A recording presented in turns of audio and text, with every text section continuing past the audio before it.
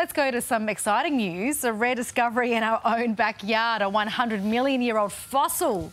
DC What's of its a name? long-necked marine reptile known as Elasmosaur Well has been uncovered in the outback. Here to of tell us more about it is Queensland Museum paleontologist Dr. Espen Knutsen in Townsville. Well, Espen, congratulations on this discovery. Tell us what have you found? Oh, thank you very much. So it wasn't actually me that found this, but it was the station owner that contacted me from uh, Western Queensland, sent me some pictures of this amazing fossil that they've found. And what it is, it's uh, uh, an animal like this one here that I'm holding here, because I, I figured most of you probably don't know what an elasmosaur is. But these are reptiles that swam in the ocean that covered Queensland 100 million years ago. So this is obviously a scaled down model. So the uh, big animals are about eight meters long. But what happens with these animals is that when they die, they sort of float around just like whale carcasses do today. And because they've got a very little head on the end of this really long neck, that's one of the first things that disappears. So when we find these in the field, we often just find either part of the body or just the head. Very rarely the head at all.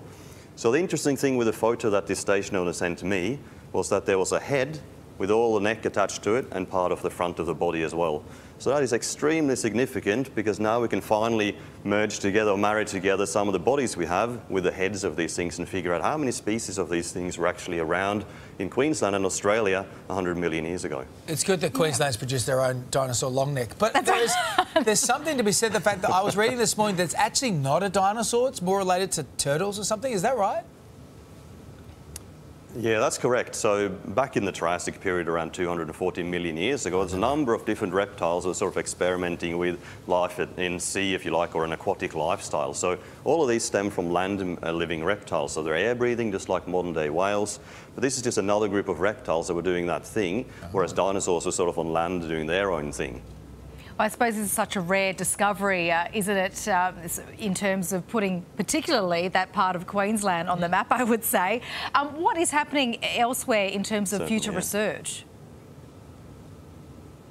Yeah, so what we're going to do now with this guy is we're going to CT scan the head and that'll allow us to look inside of it and get all the information we can extract from it. Uh, and also, we need to start removing the surrounding rock around the bones itself so we can get all the details of the anatomy of this little animal.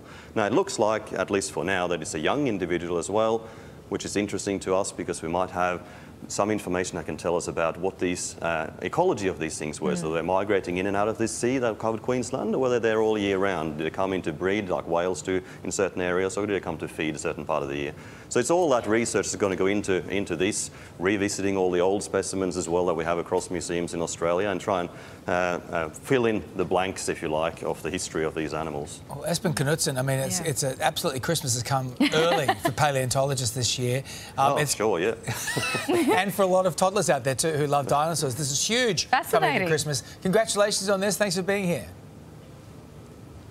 Thank you very much. Good stuff from Espen. I know. What a name as well. Great name. I couldn't pronounce what the reptile was before. Yeah, but No, it's I tried, I Yeah, tried. you gave it. I failed earlier Yeah, as well. no, good.